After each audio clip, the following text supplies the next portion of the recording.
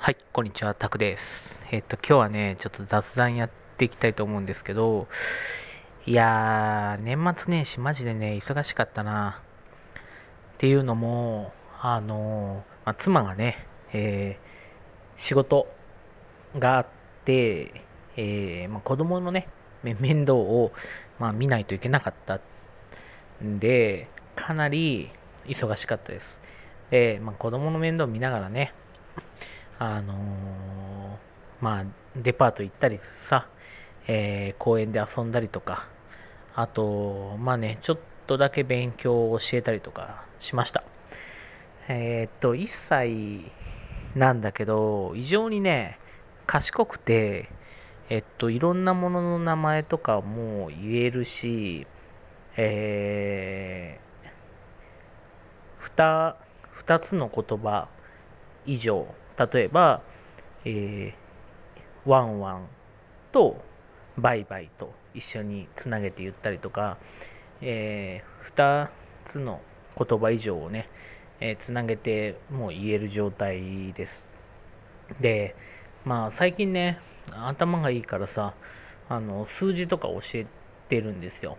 あの、1とか2とか3とか。で、まあその数字をね、教えてるのもあって、あと、あの、まあ何歳か聞いたら、1, 1歳って答えれるんですよ。あの、1歳にしてもうすでに1歳って答えれるというね、結構ね、3歳ぐらい、に 2, 歳後半とか3歳ぐらいがやることを、まあできてるのかなとは思いますね。うん。でね、1歳って答えるんだけど、最近ちょっとふざけてきて、何歳ですかって聞いたら、5歳とか言うんだよね。1歳なのに。うん、まあ、頭のレベル的にはもう4歳とか5歳ぐらいなのかなとか思いながらね、うん、超賢いというかね、なんか今のまま行くと、もうなんか、保育園の間に小学校の内容半分ぐらい数学終わってそうなね、えー感じですね。うん、保育園卒業する頃にはもうなんか小学校の内容半分ぐらい終わってそうなぐらいのレベルで感感は半端なくありますね。うん。半端なく賢くて。で、まあ、時間ある時にちょっとね、えー算数を教えてね、えー教えていこうかなと思います。まあ算数ってね、小学校はね、数字から始まるんですよ。でも、ぶっちゃけね、あの図形からの方がやりやすいですよね。小学校のその算数が、まあ、数字からやってるからさ、まあ、一応ね数字から教えてるんだけど、まあ、個人的には図形からやった方が、えーなんか図形って見た感じわかるじゃん。数字ってあの教えにくいんだよね。えっと1とか2とかってもうそれしかないからね。あの えなんでそそれなのみたいな言われてもえー1とか2はもう決めちゃってるもんだしなかなかねその数字って教えるの難しいんだよね。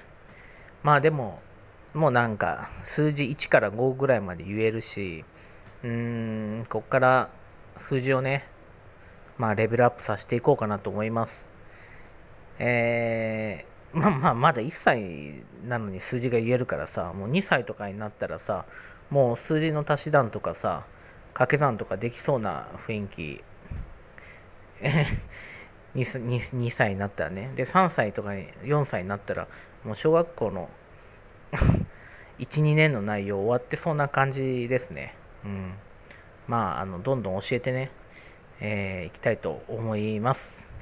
あとねまあ英語とかもやってるんだけどまあそこまでね英語はねまだ1歳だしそこまでなんかすごい興味ある感じはないね。うん。あとそうだな。国語。